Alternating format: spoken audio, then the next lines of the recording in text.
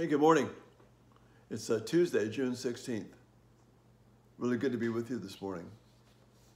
I want to attempt to sort of wrap up what we've been looking at in terms of wisdom in our language. And specifically, how the Bible uses wisdom literature to help us apply the truth of God's Word into everyday life. As I've been saying, wisdom literature is the Bible's YouTube. It's vivid imagery which applies truth to every practical issue of our life.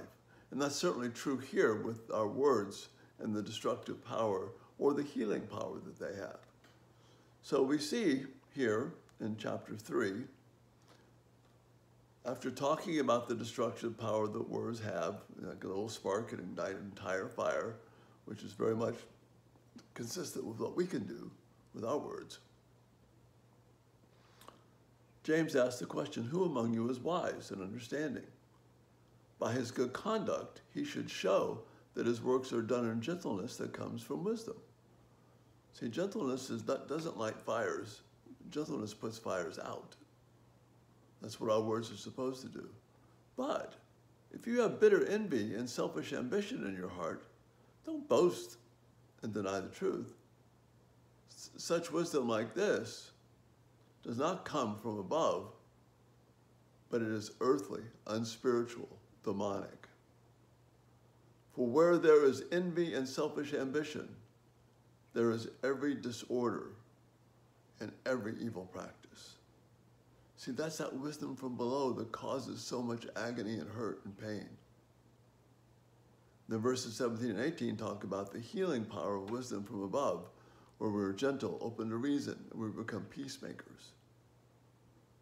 But then at the beginning of chapter 4, which actually is part of a flowing unit here, and we shouldn't separate them, I don't believe, that we need to see the unity. James asks the question, what is the source of wars and fights among you? Well, if we're following the flow of the narrative here, that source is wisdom from below.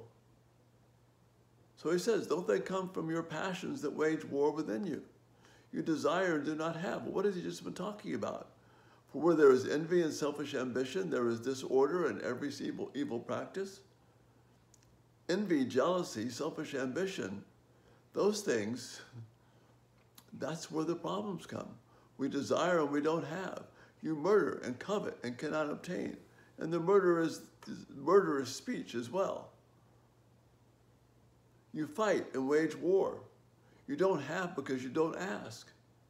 We're not looking for God's wisdom. And yet, when you do ask and don't receive, it is because you ask with wrong motives, which is, remember, brings us right back to chapter 1 of James, where he says, you know, don't ask in unbelief, don't ask in doubt, but ask in faith. You don't have because you don't ask. You, you ask and don't receive because you ask with wrong motives. And those motives so that you can spend what you want on your pleasures. In other words, you can feed the jealousy, the ambition, and bring about more disorder and more evil practice because that's what we're about. That's what we want when we are involved in wisdom from below. Because remember, it is earthly, it is unspiritual, it is demonic. If you're not focused on the wisdom from above, those things that are open to reason, gentle, reasonable, pure, focused on God, then your speech, no matter how nice it might sound, is based on wisdom from below and will produce all the ugliness that we just read about. So that wraps up this section. Come back here often and read it yourself and get a grasp on it and realize if there's strife and envy in your life, yes, other folks may have a big role to play in that, but our role is to use wisdom to put out those fires, not to use our passions to increase them. There's nothing good about making other people upset and angry because we want to feel good about ourselves. That's demonic wisdom.